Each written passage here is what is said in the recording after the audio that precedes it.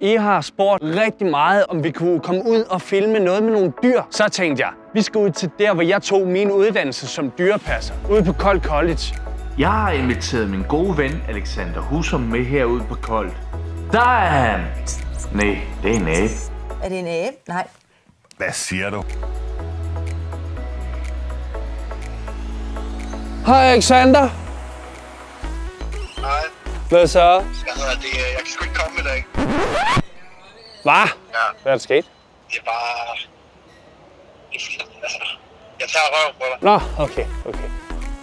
Det er jo sjovt. Ej, jeg vil bare lige, jeg vil bare lige spørge, om det er okay, jeg er der om 20 minutter. Er det, er det sådan, at man kan tage et billede til sin uh, lille søster? Ja, selvfølgelig. Nej, Selvfølgelig. nej. Skal, skal Alexander også være med på, på billedet? Ja, det er så fint. Det er smukt, det der. Super, det var så let. Og god dag. Og i lige måde. Ja, vi gør. Hej, mor. Alexander, jeg siger det bare, nu booster din YouTube-kanal for sindssygt. Jeg har, jeg har aldrig haft det så fedt i mit liv før. Nej, vel? Nej. Okay,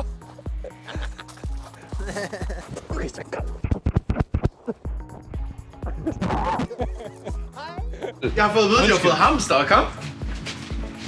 De har fået hamster også, ikke? Kæmpe hamster. Øh, Jeg er bange for, at det her det ikke bliver den øh, mest øh, seriøse video, vi laver det er herude. det. Jeg kan sætte mig i bilen, så skal det nok Nej. blive seriøst. Nej, for du har allerede er fået du starten op. Du er sjov. Men du kan jo stadigvæk tage, jo. Flot. Tak. Ved du, hvad det sjove han sagde, du var flot, var? Han løg. Jeg vidste, jeg vidste, han ville sige det. Jamen, øh, lad os kigge på nogle dyr. Tør du at holde den? Tør du at holde den? Ja da. Så tag den op. Bider den? Ja. Godt. Hvordan, hvordan tager man den? Er det ude i siden? Skal jeg vise dig en, der er endnu sødere? Er det? Den skal med. Ej, lever den? Ja, ja. Jeg er bare bange.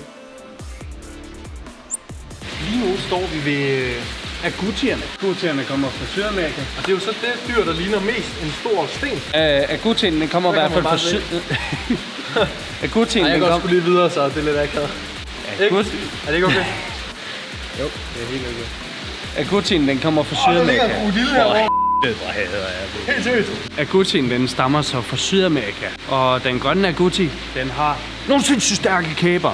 Og det er ikke for sjov, fordi hvis du får din hånd i klemme, så tykker den bare lige igennem, fordi knæver har flade tænder. De der, de er skarpe. De er så skarpe, at de spidser det på pladen der. Og agutier, de har jo meget, meget farlige dyr, og du kan typisk kende deres angreb på, at de sidder lige rundt om livet på en øh, pige. Øhm, de koster cirka øh, 3.000, 2800, og, øh, og deres angreb er simpelthen, at du kan spænde dem endnu mere ind, og så kvæler de derud til sidst. Bro, det er Gucci. Ikke Ja, Aguti. Gucci, Gucci, Ja, det er Gucci. Gucci, Gucci-bælte. Ja, nej. Det er Gucci, det er ikke tasken. Er Gucci, men du siger det bare på engelsk, jo. Det her, og det, er det anden Gucci, eller er det er Gucci? Nå, det er sådan, du staver Gucci. Ja, ja. Så er det en Aguti. Aguti?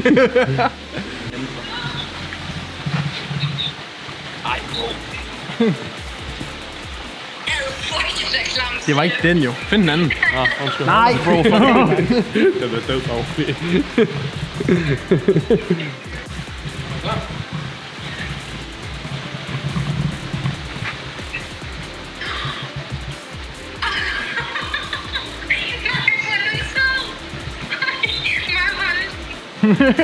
Ja. Den er på størrelse med en tommel, altså det første led på en tommelfinger. Det er sådan, det er, drenge. Hvis I gerne vil score damer, få nogle små søde dyr.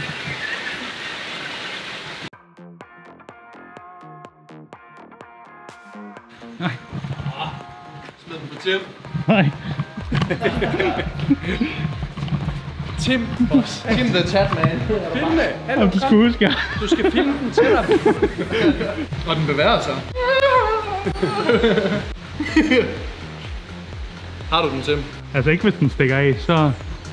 Er du bange for den? Men du skal ikke over til min taske.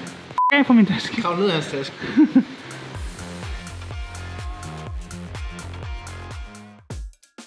Ja. Det der, det er en negl. Altså, I kan se, det er lavet af det samme, som negle er lavet af. Når stålormen er et fireben uden ben, så er de der negle måske forhistoriske ben. Det er i hvert fald negle, der ikke giver nogen mening at have. Og det du kan se der, det er faktisk luftrøret, åndehullet, der er i spidsen af tungen.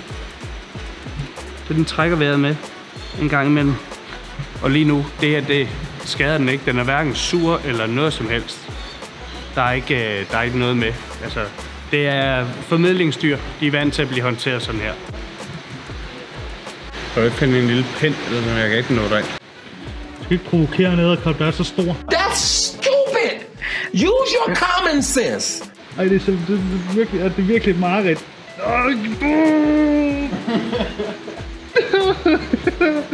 Nej, jeg virkelig... Jo, men hvad dør her? Martin. Åh, Hvad synes du? nøj. Jeg synes faktisk ikke, måske ikke, at den er ulækker. Jeg synes bare, den er hyggelig, faktisk. Ja, vi tager den lige ind igen. Den gider ikke noget. Nej. Det er Nej, også og det er også helt perfekt. bruge faktisk giften til, øh, til pilgift, som derfra er navnet pilgiftfrør. Det her afsnit, det blev lidt mere useriøst. Hvis du synes, jeg skal lave en ny video ude på koldt, der er måske rimelig meget mere seriøst end det, og du tænker, det her dyr vil jeg gerne vide lidt mere om, så skriv ned i kommentaren, så tag ud på koldt og laver det. Vi ses derude.